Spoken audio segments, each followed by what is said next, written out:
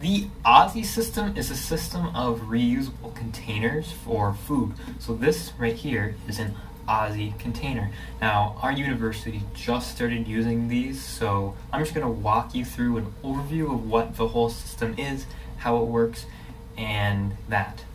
So the premise behind this is instead of getting a whole bunch of disposable containers that you'll just bring back, throw away, and then it's just sitting there in the landfill, these you can return the containers, get them washed, and then you can bring them back wherever you need to go.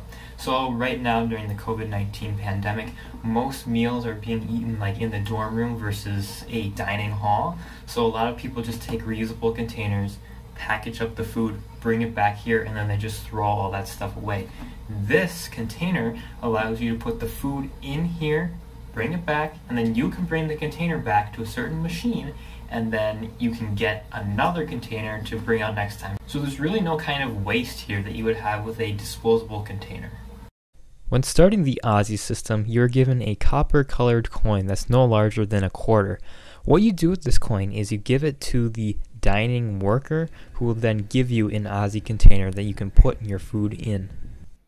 You are also given a coin holder which can attach to a keychain so that it's less likely to be lost and you can add it to any keychain so if you're living at a dorm you can just put it to the same thing that has your dorm key and your campus card.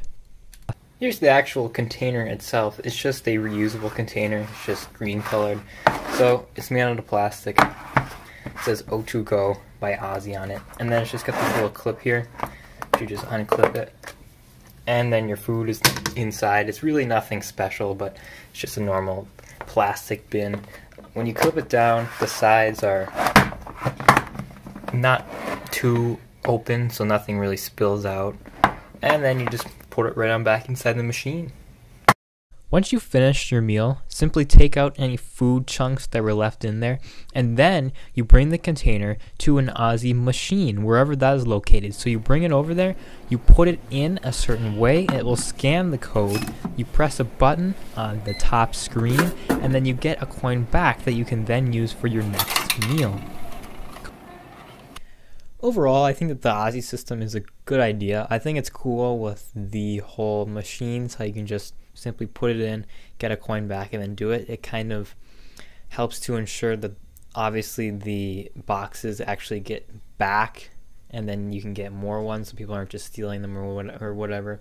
Um, if you do indeed lose one of these coins, you can get another one for four dollars. So it's not a huge deal, but I mean, I think people would rather not pay four dollars for an extra coin if they don't have to. But um, yeah, overall, I think it's so much better than just having a bunch of disposable containers, and it's kind of a fun little thing to, to bring it back and put it into a machine. As always, thank you guys so much for tuning in to T-Time and I will see you guys later.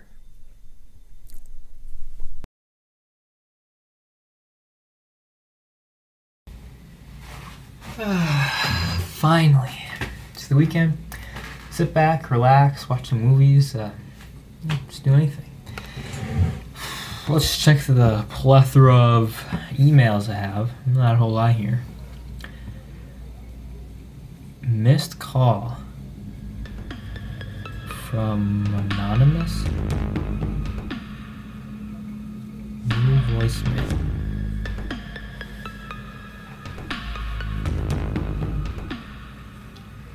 Who, who could this be?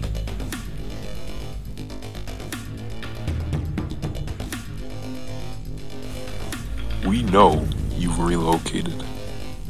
No matter how far you run, you cannot hide from the truth. Lexar has done some fine work these past few months. He has most definitely put in his time. I assume you remember that forbidden fellow, and I'm sure you have noticed strange anomalies occurring behind the scenes. However, you have yet to meet the true mastermind thwarting your distorted aspirations. Remember, in life, there's always more than meets the eye.